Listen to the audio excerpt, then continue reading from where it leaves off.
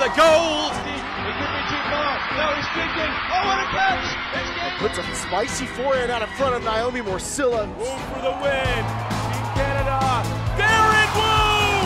Santos with the layout grab. Oh, that fantastic grab. The claws of Chapa. Canada just became the world champions.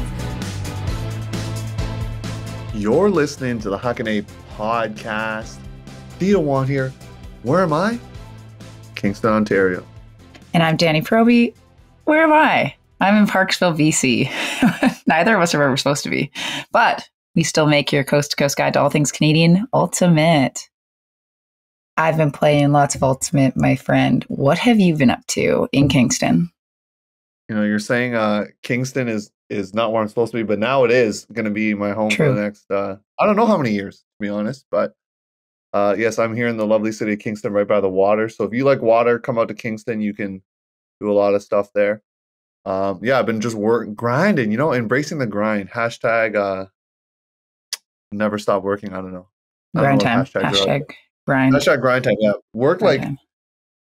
couple 12 hour days over the weekend just trying to get things prepped up we had our first home game so yeah lots of or the first home game since i've been there so a lot going on. Got to see a really cool obstacle course where all the first year cadets have to do it and uh it's pretty intense. Got some cool pictures from it and uh, it's pretty intense. I don't think i would ever do it. It looks uh pretty hard so i don't know if i have the the mental fortitude to complete that thing. Uh, you have to like crawl through mud. There's like the you know the classic like wall climb where everyone has to get up the wall? Classic. Uh, so it was, it was cool to see how teams were creatively trying to get everyone up the wall. Oh, I love that stuff. It's like a, an adult jungle gym, sort of. It was way more tiring. Well, of course, of course. But kids don't get tired. So as an adult, maybe you get more tired. But that's pretty cool. I would definitely be keen to try that or like have an ultimate team go through something like that would be a pretty cool like uh team building thing at the beginning of the season. Giving me some ideas for U24 stuff. Um oh gosh, they have to do an obstacle course to make the team. Actually, that's the tryout. Yeah, exactly. Can't whoever you get over the wall, that's your that's your those are your teammates. Just all the tall, like thin kids make it. anyway, speaking of tryouts and speaking of U24, that's a lot of what I've been doing lately has been kind of going over all the applications of people that did apply.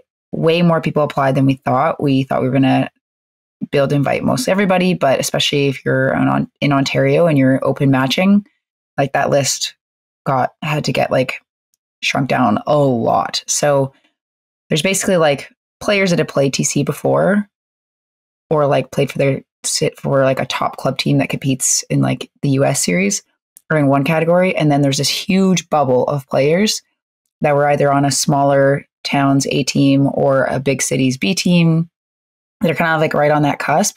There was like 50 athletes in that category. So the whole process was really challenging. So if you're listening to this and you did not get an invite to tryouts, you're not alone. There was quite a few people, and um, yeah, it doesn't mean that you're not a great player. That we just had to be really selective uh, and stuff when we were checking references and everything. So that's all I have to say about that. Traffic competed in regionals this weekend, um, and it was really fun for me personally. It was one of my favorite tournaments I've ever played in um, for the vibes and for how I feel like I played. Like, of course, I make mistakes, but I felt like I my huck game was on, um, and it was a good time. O line, we only got broken three times for the whole weekend, which I thought was pretty neat.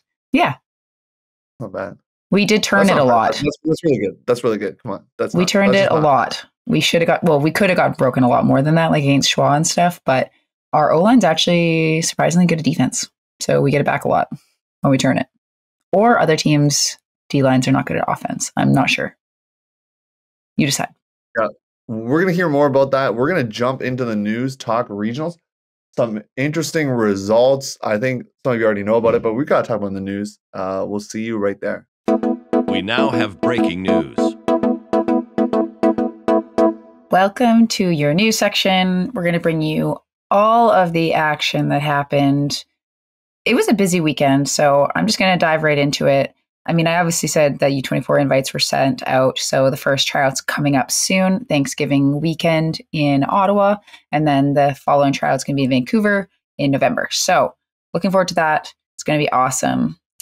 Keep training, keep your bodies healthy if at all possible. So, regionals results. We're talking Club Ultimate first. So, we're going to go into the Northwest where I was in attendance. I didn't get to see a lot of the men's division or the open division because they were actually at a different field site, but I was able to watch a bit of one of Furious's games and they looked pretty good. But Furious goes two and two in pool play. So they start off their entire tournament with a loss to Darkstar, which is a team from Eugene, Oregon. So a big surprise. I know on Deep Look they talked about how this was like the first big surprise that kind of came across their desks where they're like, whoop, it's going to be an interesting weekend because Furious should not lose to this team. So they also lost to Sockeye. It didn't end up really mattering that Darkstar game because whether they finished second or third in their pool, they still had a similar level of crossover. So it wasn't like the dagger in the whatever you know, nail in the coffin. That's the thing I wanted to say. So they do what they do need to do in the rest of their games. So they end up beating Emerald City 15 8. And then in the game to go to the game to go, they're playing against Pando, which is a really good team. And this is the game I was watching. And Furious starts up three breaks. So they got a nice, comfortable lead kind of at the beginning, and they kind of coasted that out to win 13 11 at the end of the game. So they found themselves in the game to go against Rhino. This is kind of exactly how they imagined it would all go, but they end up losing 11 to 15. So Rhino ends up taking the second bid out of that region. Furious finishes third. If they had a third bid, Furious would likely be the one taking it. So it's really unfortunate for them that their season is over. Theo, do you have any thoughts, well wishes to this Furious George squad? It's the reverse of uh, Chasing Sarasota is all I gotta say. Yeah. We talked about that documentary. It's a little reverse action here.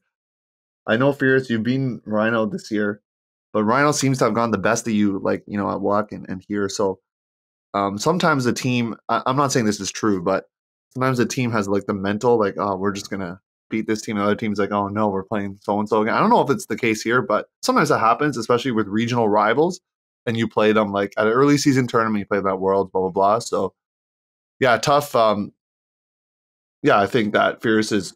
I haven't listened to that deep look episode; just like dropped an hour ago. So good on you for listening to it. Um, that's good. That's the prep right there that we need. But um, yeah, I think they are. Uh, they probably said this, Charlie and Keith, but they are probably the best team not at nationals, in my opinion. Probably like one of the, the, the Maybe Dig. Yeah, yeah. Well, we'll get to them. but yeah, Furious and Dig probably the two best teams not at nationals.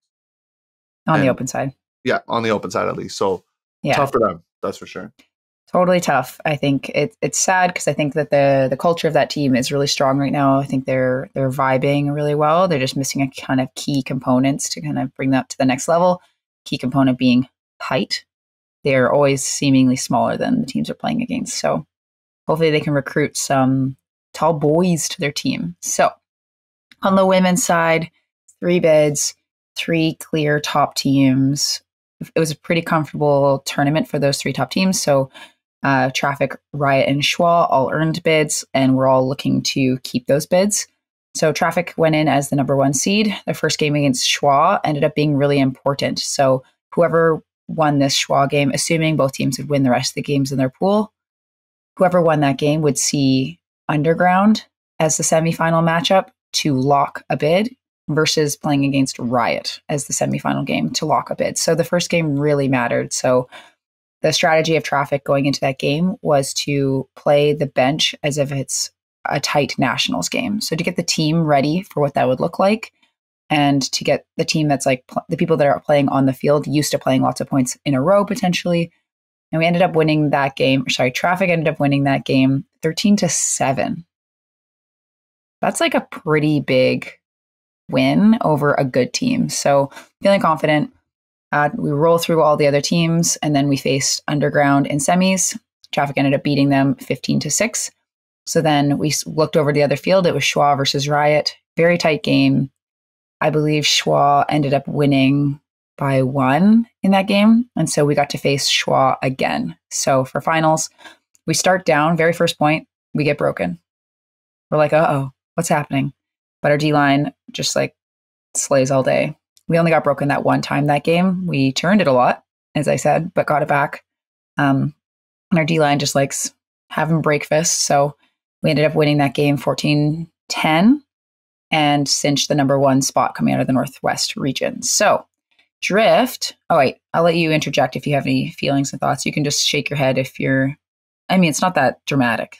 So, Well, the dramatic is Schwa taking the second bid, though. Like, I know we're not a U.S. podcast here, but Riot has, uh, I mean, they got names you recognize, but they are not uh, doing so hot. Let's just say that. So that's my only. I knew. Schwa was the second best team just after Yeah. having played both of them. They're they're more uh, aggressive. I think they're faster, more dynamic. From what I've seen, I think Riot has a lot of top top talent at the top, and but aren't as deep. So, Drift first year team, sort of. I know Koish kind of existed at UCI last year, but new vibe, a lot of the same players. But we'll say they're a first year team.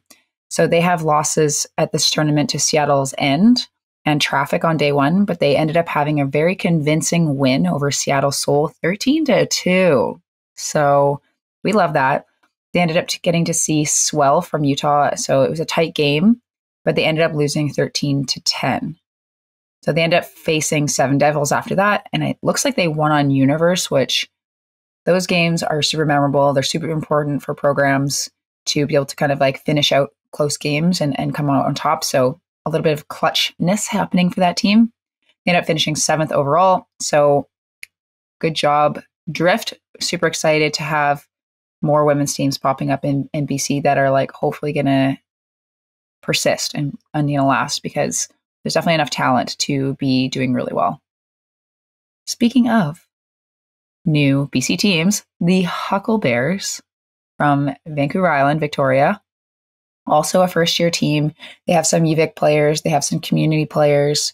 They did end up going winless on day one, but they had a really close game against Seven Devils where they lost by one. So this new team, it's they're there, they're ready to play, they're well coached, and yeah, again, a tough day one. I think one of the teams they were supposed to play the following day, like either forfeited or I don't know what happened, but the Hucklebears had no scheduled games on Sunday. So they just played their four pool play games and then they were done. And so I think there was a little bit of disappointment. And I totally understand. As a developmental team in the women's division at a regional tournament, for them not to get any bracket games or consolation games or anything on day two when they travel on a ferry and then they drive down, I think is garbage. So I don't really know what happened behind the scenes. Like maybe it was a team that said that they couldn't play and they only had one game scheduled. Either way, I think that's bad on USA Ultimate's part. They should have had at least two games on Sunday. It's the women's division. Come on, what are you doing? What are you doing? Theo, tell me what you think about either Drift or Hucklebears. First of all, do you like the name Hucklebears? I, I I like the name Drift. I'm I'm gonna say that it's a hype name. I, I like both names. I am very disappointed for them because I'm looking at the USAU schedule, and as you mentioned, there is no. I'm not sure if it was scheduled and maybe scrapped or or what happened, but um, there is a seventh place bracket um, or like a seventh place game. So I don't know why there's no ninals. You know, nine ninth know. place game. So I mean, Um, field field space was an issue. oh, it was okay. Yeah. Um, I mean, even so, like as you mentioned, a team like Hucklebears, their first year team, they're trying to get some reps in. They're probably not going to regionals thinking, hey, we're going to take a bid here and go to USA Nats. But it's more like, hey, we're trying to build towards the future. Let's see how we can do at CUUC 2023 when it's in our province. Let's get some reps in. So for sure, they got to be sad because that's the whole point of going is to get reps against teams that are. You play a team that you know is a lot better than you. It's there's some development there, but you want to play teams kind of close to your skill level, and they weren't really able to do mm. that on Sunday at least. Yeah. Yeah. Moving on to the mixed division, Flag was kind of in a little mini pool. So they had wins in their first two games. They ended up playing a crossover game, which I heard some players say that it didn't matter, which I disagree with. I don't, maybe the player didn't know that much about it, but they ended up losing or playing against mixtape and then they lost 15 to 9. I mean, it didn't end up matter in the grand scheme of things because they ended up, spoiler alert, getting a bid. So they ended up losing 15 9. It meant that their route was a bit tougher. So they played Pegasus first, took an easy dub against them, and then they faced BFG in semis.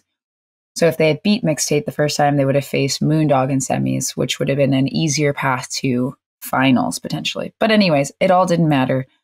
They end up losing to BFG 59 again, and it sets them up to see Moondog for the bid game. This is kind of how we all thought it would go down.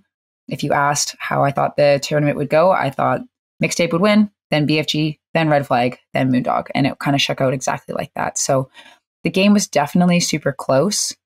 I believe Red Flag was down for most of the game and kind of pulled off some late game breaks and ended up winning. And you posted this, but they're the first mixed team since 2013. Is that Yeah. right? Uh, you know, we might get fact checked on this, but I did look, and Odyssey had made it in 2013, and I didn't don't think I saw a Canadian team after that point. So, um, yeah, I believe that is, uh, yeah, that's that's the true fact. So, um, yeah, first time. I mean, I didn't say this in the post, but I told you so to the audience. I told you. I said Red Flag would be the first Canadian mixed team to make it, and I was right. So, I'll take some. uh, Yeah, I know. props. We were trying to convince Ultiworld at the beginning of Red Flag's inception that they were going to be good, and they're like, nah, nah, I don't know. And then they come second at WUC, and then they win the or they get a win the bid at this region. So you got to believe it. Okay, congrats to Red Flag. Asterisk. It was not without controversy. So we're a podcast that talks about Ultimate. People have actually asked us like literally slid into our DMs, literally emailed us, Emailed us, asking yeah. us to talk about this. It's definitely uncomfortable for me because these are a lot of players that I've played with, coached, whatever, um, to talk about something that's not so good about it. But we did this with Strike as well, so we're kind of like holding things accountable. Um, if you follow r/Ultimate on Reddit, you would have seen a couple different threads in a post about some dangerous plays that were happening and some dramatic things that were happening on the field, like a player literally walking off midpoint because they were frustrated with their own team. Um, like they they talked about that in the Reddit thread too. So everyone's like, "What is going on?" Theo, what do you feel about this? Oh, this is uh, like the like the strike episode. This is a tough topic, but we gotta talk about it because that's part of our job here um, that we get paid millions and millions of dollars for. So many Um, dollars. Yeah, like I I had a chance to edit the game, the game to go, in which the bid was discussed. Um, sent it to Danie, so Danie's seen the bid as well. Um, I can only speak to the ones we saw in video because unfortunately uh, I wasn't there. So, um, yeah, in, in the video, um, it does look like um, the red flag player does undercut and does take out the legs of uh, the person on Moondog. And from what we saw in the Reddit post, that person's not wasn't able to come back in the game. And there's other mentions of in the thread of uh, you know other incidents happening. Um, like I said, I can't comment on those incidents because I wasn't there. And I tried to ask someone who's actually had boots on the ground, and um, they re- they reference the video as well. So um, this is our little plug also for Ultiworld subs- subscriptions. You can the game is actually already up. Um, you can actually watch it right now on Ultiworld's video st- video website, video.ultiworld.com. Uh, you can check it out and, and see for yourself uh, what you think. But uh, clearly, um, I had a chance also to commentate their game in the semis at WUC, which was, uh, if you look at the comments, not the best game to watch. A lot of calls, uh, both teams, but Red Flag is obviously the team we're talking about. So um, we know also how they did in Spirit. So clearly, there's at least from the last two tournaments that we of note, there's like a trend happening. I'm not saying it's um, systemic or cultural per se. It could be, but we're noticing a trend. So that's something we're going to keep an eye out on as we go into USAU and see how they do there. Is is kind of my perspective on it. Uh, clearly, some things uh, rub people the wrong way based on uh, their reactions on Reddit, and even one about uh, Vancouver Ultimate League. I didn't even know that was going to be chimed in. So that that came in today. So Well, I just, I'm personally frustrated because I feel like Canadian Ultimate Spirit has been improving on the international stage. And there's always those people that kind of come into the comments being like, oh, classic Canadian Spirit. Or like, well, actually, Furious and Traffic did really well at WUC for Spirit. I know Red Flag was like second to last or whatever. They finished below nine in Spirit, which is definitely a problem.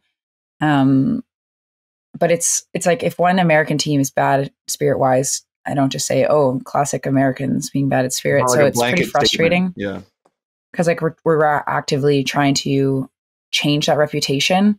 Um, so I I think that also on the the Reddit post they were talking about it being a particular player when in fact it was actually two players that were kind of involved in these plays. So maybe that's a maybe it's better that it wasn't just one player doing it, or maybe it's worse. I don't know. You can all decide for yourselves, but I was chatting with some people on Red Flag who agreed that they were bad bids. Like they weren't saying that they weren't. Um, they also said that in the their their bid game, there was tons of people watching and booing them and stuff. So they kind of got a little bit of uh, maybe anti-Canadian, maybe anti-red flag. We're not really sure um, what's going on there. I have been trying to chat with people from Red Flag and from these like Seattle teams, like BFG and stuff. So just to get a little bit more information, because I don't really want to talk too much and give any opinions about anything when I don't have all the facts. So hopefully we can chat with some Red Flag leadership and see um, what they're going to do about it. Because traffic, we have this thing. If we somebody on our team makes a bad bid, we have consequences for that. So I'm just curious if Red Flag has anything like that kind of ready to go. I mean, the other wild story is a player just walking off the field. Like that's crazy. Like That is crazy. and that is that a is confirmed crazy. story, correct? That's not just like a, a myth. It's that- confirmed. That, did that did happen. So I that ain't is gonna say who it was, Sorry. but somebody walked off. So Yeah, I'm not gonna you- say who it was, but they walked say who it off and they finished that point six six players to seven.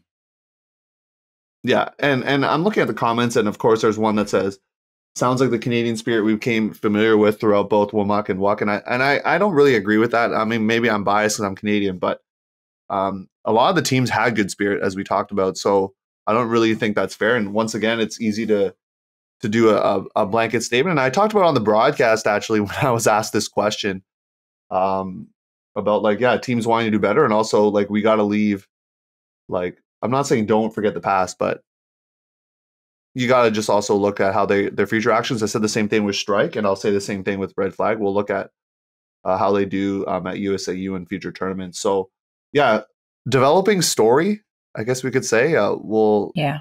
Danie, you you got boots on the ground in uh, where where did you say you are? Something be like not Vancouver, BC. Where?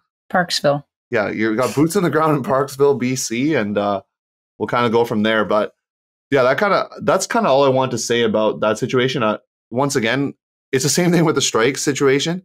We don't want that to overshadow them winning, but it is a topic to talk about. Like it, it- you got to do both. We, we're gonna talk, we're gonna celebrate the fact that you know since 2013, let's get it, Canada mix, come on. But there's also this like cloud here. Yeah, agreed. Can you send us to your neck of the woods and talk about what went down in the Northeast? Because some drama. We love it. Like good drama. Good drama. Yeah, shout out to the um, people in my former uh, place of residence, Toronto, Ontario. No one believed in you. Let's just say that because predictions, deep look, they were saying it's going to be Pony, obviously, first bid in open. And then it's going to be Dig. Dig had a good season. It's going to be Dig. But Goat says, no, no, no. We're going to change it. But this is how they got there. They actually lost to Dig in the first place semis, which puts you in the back door with two bids. They beat Sprout, a good team. Come on, Sprout's a good team. I mean, they lost to the Tire Biz Frizz at some point. Sprout did, but Sprout's still a good team. Love Tire Biz Frizz. Fortunately, they do not get a bid. They beat Big Wrench and they get to the game to go. They beat Dig in the game to go, and there's a there was a video uh, circulating. Wilkie Lewis, shout out to you. Basically, skying two defenders for the win, and uh, you're going to nationals. And and for Dig, you lose in the final, I believe, to by one. Going to be editing that game soon to Pony. Then you lose a goat. So you do my favorite saying, which is the lose, lose, see ya. I stole that from Charlie Eisenhood there, but it's you lose in the final. And it's tough because you're going hard and it's a close game, so clearly it's warranted. But could could there be tired legs, minds? I don't know. And then they lose to goat. So and this is the biggest cliche. I know people are gonna shake their heads when I say it, but it's like it's hard to beat the same team twice in a tournament. That's just true. Because you got to play them again, and it's just like this mental thing. I don't know, Danie. You can speak to that. Well, yes, it is hard to beat a, a team twice. Everyone always says that. But the thing about this exact situation and why it comes up so frequently is because you put everything into winning this final. Because if you score that last point or you win it or whatever, you're done and you clinched a bid. So all your energy goes out into this game. You lose. So you're heartbroken. This team has just below you has been building. They've been winning. Things have been clicking. They're feeling good. Those are two very different energies to go into a bid, like a game to go. So, like, even though on paper, Dig is a stronger team than GOAT, they've been performing better. They were in the top 10 in Ultiworld. That kind of situation is the exact situation where that team is going to go down. And that's why you have to make that decision in that final game. Do you do you go for it against Pony or do you rest a little bit? It's risky both ways. We've seen both of those things turn either good or bad, depending. Interesting factoid that I learned today. Goat, by beating Dig, knocked out an open team. This is the first time an open team from Boston hasn't made nationals since the 70s. Wait, was that that was on Deep Look, wasn't it? Yeah.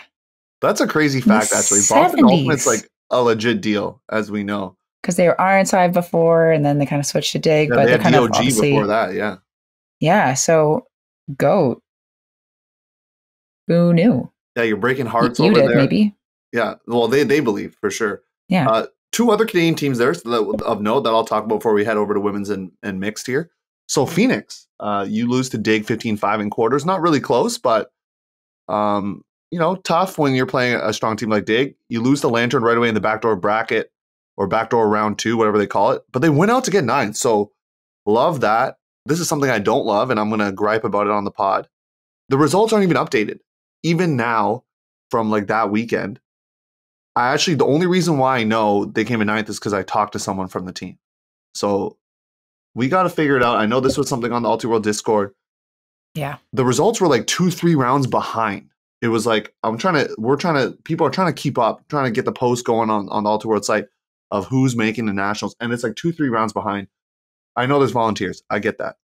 Thank you for volunteering, all the volunteers out there. But especially for regionals, there's got to be a way to like make the updates a little bit more faster so Yeah. that people can get the news. Like, I don't want to find out like four hours later who made it when it, it's already happened, you know? So uh, that's my only gripe.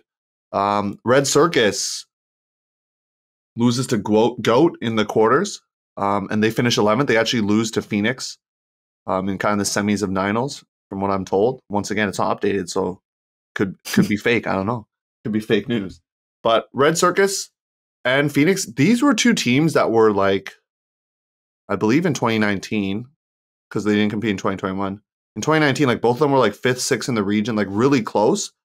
So both teams dropping a little bit here. So don't call it a trend just yet, but we'll see how they do in 2023. But uh, clearly, other teams in the region picking things up. Well, Phoenix was missing Jeremy Hill because he was getting married. So, big loss. Hey, congrats. Congrats to you for getting married. There's another uh I know another person on Phoenix, Paul Renault, was married the week before. So I think I think he was out there for Phoenix, so got married and then say, I'm just gonna play a tournament the next week. Let's get it. Maybe that was their honeymoon. That sounds like a honeymoon Ari and I would do, to be What, honest. Go to like Devens, Massachusetts for regionals. And like, yeah, that sounds very romantic for sure. Yeah. Speaking of romance, let's head over to the women's division. We have two powerhouse teams battling it out for these two bids. What what's cool about this this region though is that there are two will you say favorites to take those bids, but then there's quite a few teams underneath them that are upset worthy. So I think that this region was really exciting going into the weekend. So Sixers had going to go to San Diego, going to see them there. We were uh, unsurprised, I guess, with that, but it didn't go exactly as as we all had predicted. So they go two and zero in pool play. They defeat Bent from New York in semis, but they end up losing to Brute thirteen to twelve in finals. So a lot of people were a little bit hit or miss with this Brute Squad team as of late because they didn't perform very well at Pro Champs. The roster was a little bit different, but they added Levke from Germany, World Games, and things just seemed to be clicking. So they ended up taking the number one bid out of the region. So Sixers then had to play against Bent again and ended up overtaking them 15 12 and got their bid. So to speak about other Canadian teams, Virus gets all the way to the second place semis, but they end up losing to Bent 15 12. Bent's a strong team. They have a lot of like really talented players. When we played them, we too, were no? and, and international pickups. Yes, exactly. So it shows it's just an indication that they are close in that region. As we said, one of those teams, kind of like upset worthy teams um, that are right there. And they also ended up beating Siege, and Siege is a very strong team. Again, one of those teams that we thought potentially could do an upset. Moving on to mixed, Union had to play Sprocket first thing, and then they lost. So again, these like first round intense games is tough. So they also lose to the League of Shadows 12 to 9. So they end up dropping down to the 13th place semis. They ended up beating Zero Strategy, which I freaking love that team name. It's very mixed ultimate. Um, and they end up holding seed coming in 14th. Theo, do you like the name Zero Strategy? It's not as good as Boston Practice Squad. Let's just be honest. Boston That, Practice that is Squad, so funny. That was such a good story. Uh, for those who don't know, it was basically players from the Boston area that were, I guess, like on practice squads for like Sprocket and like Wildcard and Slow. They all got together, made a team, did well at sectionals. I don't think they did as well as probably people would would want at mixed regionals, but still a fun team. Uh, yeah, Union just you know tough game when you have to play Sprocket first thing. Got to play a, a fellow Canadian there in Brenton Tan, but um, yeah, tough and and kind of you hold seed 14th. Um, Union has the tools in place to to try to compete, but that region is just really difficult. Let's just like be straight up. Like Exist is out there. Sprocket didn't make it, if I'm not mistaken. Correct? Like they they didn't even make it because Exist took the bid. Right? Yeah. Is that right? and like the there's some weird like the Chad Larson experience made it. There's just like some North Central, baby, Iowa's own CLX. Come on. they they had a really funny post. I think maybe I'll share it with you later, Theo. But it's like the person who's like spraying the champagne, and it looks like he's like he's like wild. He like won some sort of championships, and it keeps zooming out, and then it's like them on the third place podium, like just like going crazy. Anyways, total tangent. In other news, D1 is starting to take shape. So we're going to be covering that now. So before we even get there, congratulations to all the teams that qualified for San Diego. For all the teams that didn't make it this year, take a little bit of a rest, then hit the gym, start training. Because next year, I want us to double the amount of teams that go to USA Nationals because it bothers them that we go to their nationals. Mm, so it, really bothers them when we steal the bids. Like let's that like true. it's a tale. No one's mad at traffic. Yeah, goat We stealing earned that bid. Yeah, that's Mhm. a tale as old as time itself. Actually, you know what? That is true because like Furious didn't earn a bid, but like maybe people would be more upset. Although they were really close. They were like the, the first team to not get a bid. But like if like traffic and, and Sixers, no one's upset that we're there. We earned those bids. But for mixed, I I yeah, I get it. I think you should have to anyways, we talked about this on another podcast. You should have to go to qualifying tournaments. Or go to any American tournaments and have a ranking. Yeah, Go did go. I mean, they just didn't earn it because they lost to the second best team out of the Great Lakes, Omen. Omen has yet to play their region, so they might actually not make nationals. We don't know. Coming up this Yeah. weekend, um, there's some other contenders in there. So Omen, are they going to keep the bid? Uh, we'll find out. We On a U.S. out. podcast, like I said. So D1, as I said, starting to take shape. Two teams per division have now been settled. So Theo, you are kind of all up in this business. You kind of following along with Steel Town. Can you break it down for us?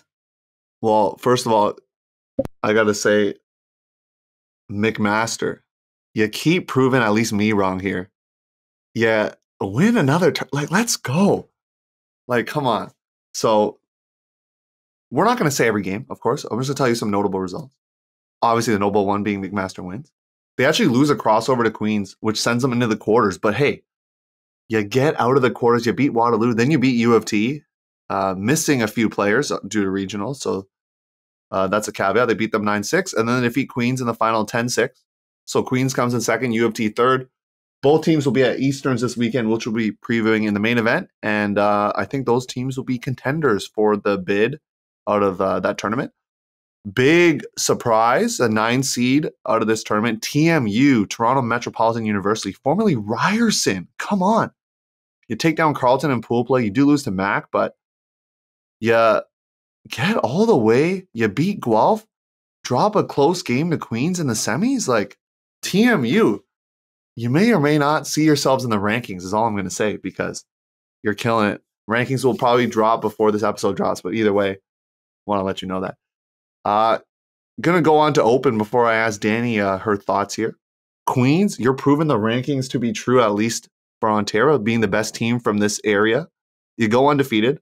You had to beat some good teams in Guelph and Carleton, and you face off against Waterloo. It was a weird format where there are some like crossovers. And then it gets into these pools where if you win the pool, you're in the final. Like it wasn't a traditional bracket. Love the mind whoever made that. So in the one pool, uh, the opposite one of Queens, there was U of T, Ottawa, and Waterloo, and they all beat each other. Three way tie. Come on. Toronto beats Waterloo 9 6. Ottawa, and these were like staggered. So like they can actually, since they're in the same pool, they all can't obviously play at the same time. There's only three teams. So each team can see the other, like, and what's happening. So Toronto beats Waterloo 9 6. Ottawa beats Toronto 10 5. So all Ottawa has to do is if they beat Waterloo, hey, we're like going to the final, trying to get a bid. But Waterloo beats Ottawa 12 8. And uh, that's how the point differential works. So Waterloo gets to the final, they lose. Uh, Carleton U of T tied for fifth. And uh, I'll give a shout out. The best B team Come on, best B team in Ontario right now. Queens B finishing 11th. So we'll, we'll shout out the B teams out here in these streets. I think it's funny that you said Queens Bee because that's a thing, like a queen bee. Anyways, we love a strong B team program. It's so important, especially when the seasons are so short, to have a bunch of people activated, engaged, especially if you have a bunch of younger folks that are not quite ready to hit the ground running for CUUC to get them still competing and playing in these tournaments is huge. So shout out to all the teams with B teams. We love to see it. So on the women's side, yeah, McMaster, they doing it. They doing it. I think that their team, like from what I can tell, is just like there's no they don't run everything through a few stars. It seems like their whole team contributes. And so that's like a good culture thing. That's a good development thing. That's why they're strong year over year and they're kind of climbing. So, really exciting to kind of see them having another successful year kind of back to back.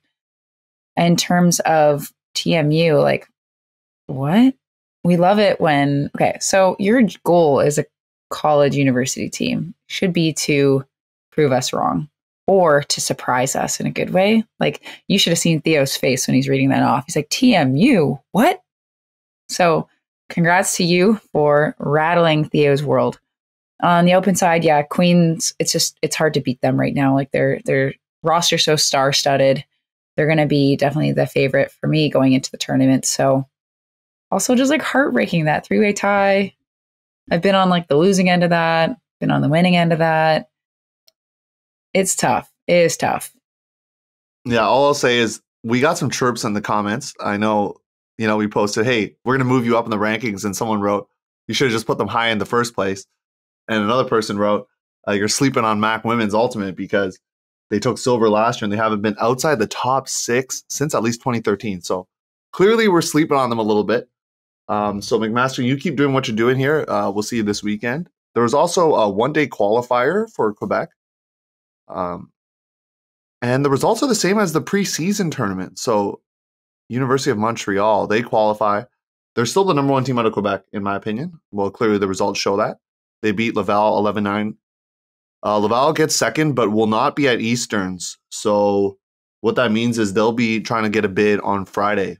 So, we'll see what happens there. I think they have a good team. I think they can do it. And then, speaking of Easterns, McGill will be there, um, from what I've been told by a resident fact checker, the only Quebec team going. So, McGill, chance to get a bid, but McGill, you're sliding. You're sliding a little bit here. I, I, was high up on on this McGill Open team, but they are sliding, and hopefully they can prove me wrong uh, at Easterns. Is all I'm saying. Do you know why Laval isn't going?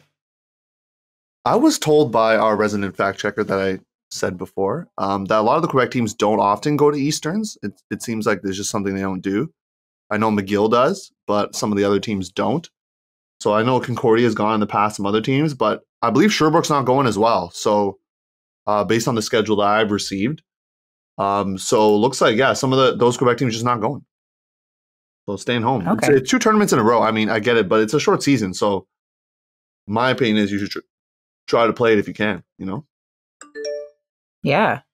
Um, okay, what's happening in the women's division? women's division it's laval again i mean it's not it's not uh 15-3 let's just say that it's not 15-3 they actually only beat mcgill by one Hmm. uh mcgill was missing i believe uh nina because she would have been playing for iris unless she decided to stay back and play with mcgill but 11-10 close result mcgill still fighting for a bid at easterns i'm going to put out a bold prediction and and the other quebec women's teams can prove me wrong but i don't think a team other than mcgill from Quebec is going to make it to Div 1. That's my prediction. I think I'm maybe I'm too Ontario homer here, but I think the other bids are going to get scooped up by Ontario teams. Spicy. Yeah, I think that this tournament being the same weekend as regionals definitely impacted some of the performances.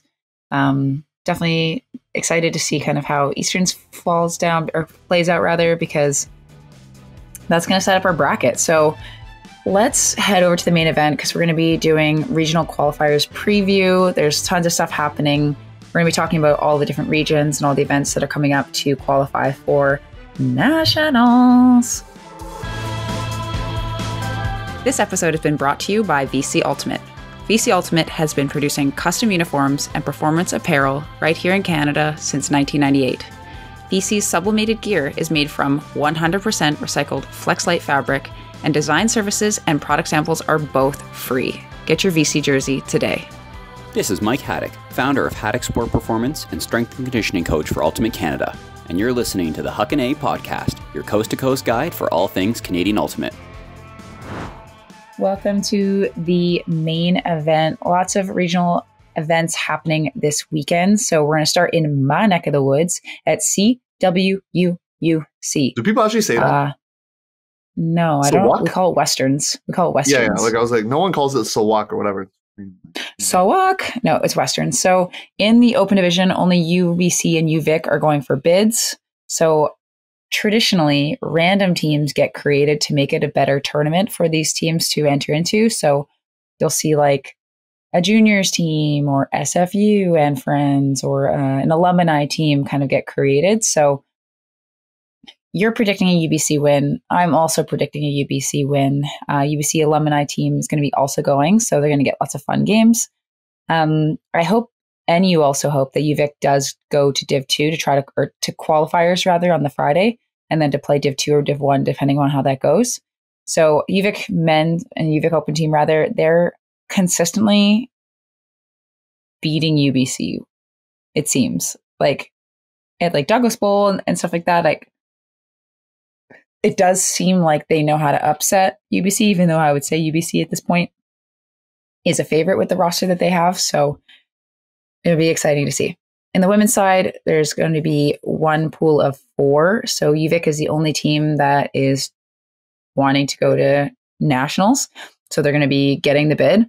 So how they do will kind of impact our rankings pre tournament. So they're going to be playing against Moist Clips. So that's What is that? I was going to ask. okay. So when Mischief played in like the VUL as a team, they called them like, and the year before they called them Moistchief because I think people don't like saying moist. I, I believe. Correct me if I'm wrong.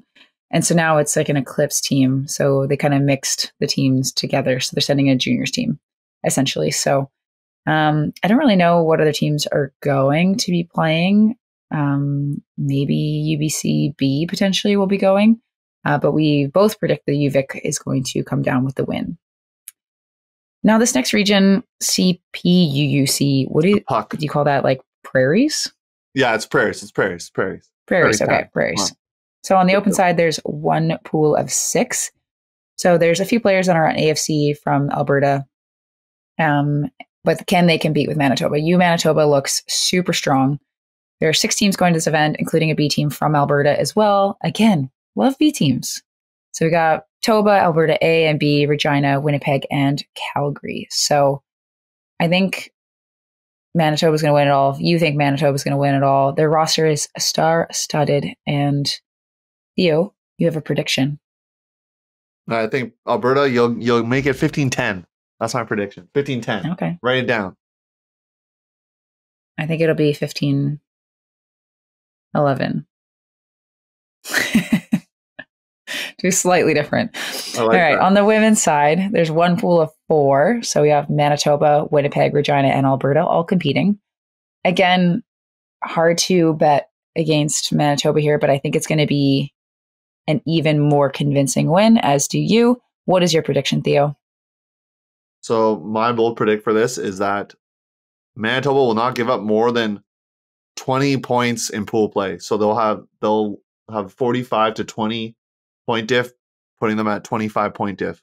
That's my that's my prediction. And if a team beats Manitoba, like come on, you're making me eat my words. Like let's go. Yeah, I think they're going to slay the competition, to be honest. Yeah, we're gonna we're gonna see what happens. But the the big tournament this weekend, I know once again, it's gonna sound like I'm a homer here, but You're not. The other ones are like little baby tournaments Yeah, with like random is B big tournament. teams and stuff. Yeah, this is a big tournament. Easterns, come on. Bids are at stake. You got your top four seeds. You got McMaster. You got Queens. You got U of T and McGill. All those teams, I'm convinced, are going to go D1. I think the pools are going to go to chalk based on what I see on the schedule. I Want to highlight a couple big games to watch out for Ottawa Queens specifically. Um, two five seeds in the tournament, and I think Ottawa can give Queens a game. So this could be a little bit of a shocker potentially. Also, this is a game I'm really looking forward to, which is going to be TMU versus McGill. McGill has not been able to beat Laval, at least from the results we've seen. TMU had a good steel town. Was it a fluke, Danie? Was it a fluke, or are they going to prove they're the real deal by beating McGill? That's what we're going to find out. Um, my picks, quarterfinalists, are going to be uh, Queens and TMU, and these are the matchups: McGill, Ottawa, Mac, Guelph, Toronto, and Waterloo. And then in the semis, I have Queens defeating Ottawa. And I was hyped. I, I said McMaster gonna prove they're gonna have to prove me wrong again because I'm picking against them again. Theo, what are you doing out here? You're gonna pick against McMaster again. The Hamilton folks not gonna like me, but I'm gonna pick Toronto to defeat Mac, and then I'm gonna pick Toronto to win and get a bid. Danie, do you agree? Is Toronto gonna win? Or maybe Queens? Or maybe it's McMaster and I was just wrong this whole time. Yeah, I mean, I I guess I agree with your quarter finalists. I I do want to see Mac in the finals. Is there a way that that can happen where Toronto is also in the finals? I mean, there's some weird like things have to shift. I think part of that is because I had Queens beating Mac in a crossover like they did at um, Steeltown. So I think if Mac beats Queens in that crossover, then yeah, they would meet in the final. So there you go. You would have it th- your way. Yeah, so I would maybe say Mac Toronto, but I do have Toronto winning. I think I'm really hyped up on this this Tula team. I think that they're really strong. Not that I don't think Queens and and Mac are also strong, but I think that they seem to be a bit deeper um, from what I can tell from looking at their rosters. But we'll know more after this weekend. You get your Sixers players back, and you added some of the top recruits there from your neck of the woods and some others. That's going to add a good formula and help build not just for now and the future. I know they're missing. They're going to be.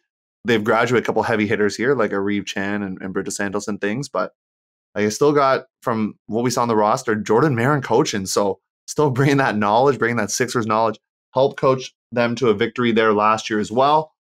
So expect good things from U of T, and that's how we see it. So if another team wins, once again, feel free to tag us in content. Danie, I got always got to plug the Instagram. We are mere followers away from the hashtag 2K. I think we're four away now. I don't even know. We promised a cameo or something. That's still on the table. A virtual autograph. Come on, that's better than a real one that's mailed to you. So get on the uh, Instagram. That's my little spiel here. Open division. Our resident fact checker slash Ultimate Canada schedule maker. Like, I don't know, folks, if you had a chance to check out this bracket. Danie, I know you've seen this bracket. It's very interesting because there's like 16 teams, but then there's also like teams kind of like there's more than 16 teams, but there's like a pre-quarters, there's like a play-in to get to the pre-quarters with some of the B squads in there, but York's in there, TMU's in there. That's going to have to play in the play-in. Same thing with Trent, Ontario Tech, Algonquin. So uh, that's pretty fun. It's pretty fun uh, uh, setup. There are some intriguing matchups I have that I that I want to note take note of. Uh, Western versus McMaster. That's a little eight nine matchup. The winner gets the privilege of playing Queens, uh, so that's always fun.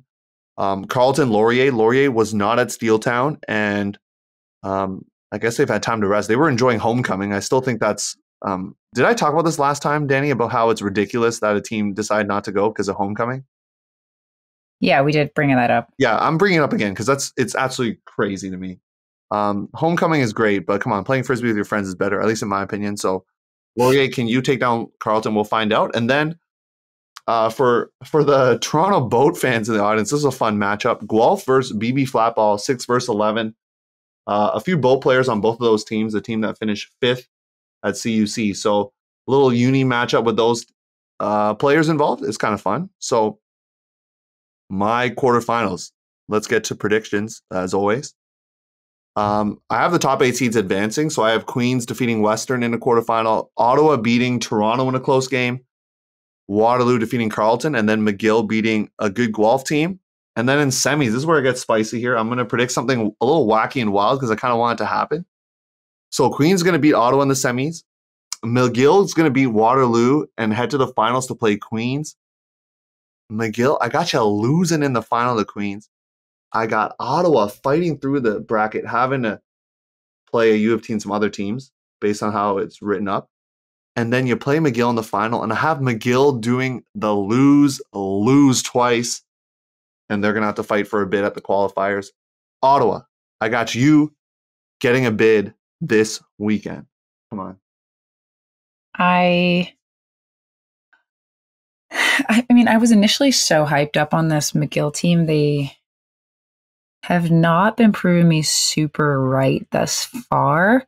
So I think this is going to be a redemption weekend for them. I don't see anyone beating Queens though. So I think them making it to a final would be redemption worthy. You have them losing out. So I'm not going to go so far as to predict that far into the future, but I think Queens is going to win it.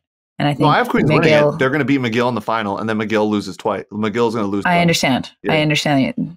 I also have Queens winning, but I don't think I have McGill going lose lose. I think McGill is going to pull it together this weekend, and they're going to be showing up and not losing after they lose the final.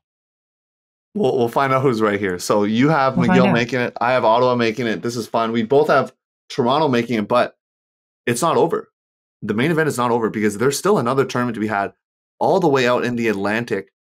Um, CA, these names are killing me here. C A U U C. What is that? Like Atlantic. CAUC. Okay. So from from what I've been told, eight teams saw the schedule. Eight teams. It's a mixed tournament apparently. That's that's what I'm hearing. Uh, so there's D Cut, Moncton, Mount Allison, UNB, which is New Brunswick, A and B, Acadia, D Cut B, and UPEI. Danie, I don't know if you've heard of a lot of those schools because that is just like way too far away from where you live. Let's just be honest. I mean, I've heard of Acadia. There you go, Acadia. So, from what I've been told, Dow is the only team that wants to go.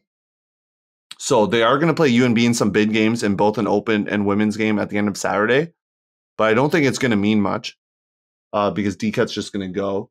Um, did try to reach out um, to DCut to confirm if their women's team is going D1. Was told that their open team is.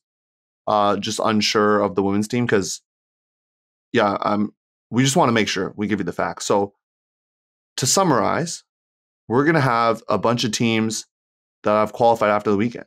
So, based on our predictions here, at least my predictions, I think similar to you, we'll flip it uh, for where Danie and I differ. But it'll be UBC, Manitoba, Ottawa, Queens, Montreal, and DCut interchange Ottawa for McGill for Danie's predictions.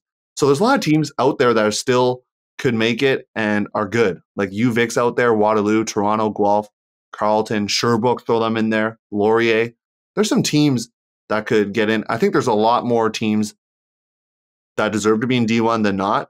And I'm going to talk about that in subscriber only. I think I'm going to fly that part solo today um, and just talk about why I think that division should be expanded because there's some good teams that are going to be competing for D2, is all I'm saying. So to summarize for women's, uh, we both predicted the same thing. So it'll be UVic, Manitoba, Toronto, McMaster, Laval. D cut, if they take the bid, they'll get one. But there's some spots still available for McGill, and Ottawa, Waterloo, TMU. Throw Guelph in there. Maybe even going down the line to York and Carleton. Carleton was in our, in the women's rankings. Unfortunately, you're going to drop out. Maybe see them too high initially, but this is where they end up. So that is the weekend coming up, and then after that, it's tri- is it tryouts the weekend after, right? It's going to be U24 Yeah. tryouts, and then it's going to be University Nats, and then it's going to be USA Nats. Like there's Club a lot- there's a lot of podcasts like coming down the pipe. Is all we're saying.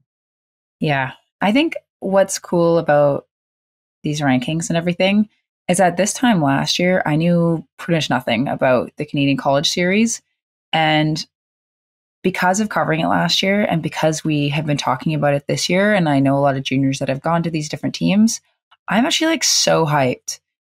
I'm hyped to see like the qual. I didn't even really realize how big of a deal Friday qualifiers was. And, and now that there's going to be like really legitimately good teams that deserve to be in Div 1 fighting for their lives on one day. Like it's insane. I I'm just so excited. So I hope that if you're listening to this and you're one of those college athletes, you're getting pumped, maybe you're a little nerves, nervous. Nervous is a good thing, by the way. It means you care. You'll probably play better. Um, it's probably going to be freezing cold and horrible. Um, but I'm, I'm I'm stoked to see it. It's going to be a really good time. So good luck to everybody in your training. Good luck to everyone in your qualifiers. Um, just good luck. Yeah, well, I wish the same luck to the people trying out. I'm, you know, I've been trying to get the the down low, but I, I can't seem to do so. So I will find out who's trying out and who's there if I show up to a trial. But if you can, is it open? Can you go to a trial just to watch? Is that allowed? By the way, yeah, Yeah, of course it's allowed. so if you're in the Ottawa area, if you're in the Vancouver area, go check out the tryouts. Dates are on Ultimate Canada's website. That'd be kind of cool. Maybe you could report something for us too. That that should be really cool. So actually, that is that's my now pitch, our pitch. If you're going to a tryout, reach out to us. Tell us what you saw. Take some video. Do what Khalif did at World Games tryouts. Document some stuff on socials. Tag us. Tag Ultimate Canada. Be kind of cool to see uh, for those who've never been to a tryout what it looks like. So um, yeah, there's going to be definitely some people that uh, are good that won't make it, and it's always like that. That's sports. So um, yeah, it'll be it'll be good to see, and we'll talk about what happened in the qualifiers next week, um, and then we'll be getting ready for tryouts. Maybe Danie next week can give uh, some final you know week of tips for tryouts, like what you can do to take care of your body and, and mind and things like that. So I'll throw that on Danie's plate for next week. This is Shanique Crawford, founder and CEO of Discover Diversity, and you're listening to the Huck and A podcast, your coast to coast guide for all things Canadian Ultimate. Danie, are you gonna plug the socials this week, or or is it, is it gonna be me again? Follow us on Instagram. That's where we do most of our heavy, heavy lifting. We're uh, Huck and A. Um, I just did a little story Yeah, I know. on It's there me talking because furiously. we're well. That, that was just funny because you were just really excited. Um, but we are four follows away from 2K. Um, so super exciting. So Huck and A on Instagram. We're on. Don't go to Twitter. We kind of do stuff on Facebook, but it's just basically cross posting. Or you can email us at ultiworld.com. We do get some emails. Exciting. We got an email at midnight saying on whatever day, I was thinking Sunday, like talk about the red flag. Talk about red flag. Yeah, so clearly there was a there was a, a want there from at least one Huck and A audience member. Uh, we got ourselves right to the clock here. Danie's gonna take off. I'm gonna go hit up the subscriber only. Follow me there. Gonna talk about why the open or I think both divisions could be expanded a little bit. Make uh yeah, I'll make my case in the subscriber only. Otherwise, we'll see you next week. Uh, we'll find out if our predictions were right. If McMaster continues to prove us wrong, um, McGill maybe proves me wrong. So we'll see you then. Danie, you get the last word. Final words. Peace.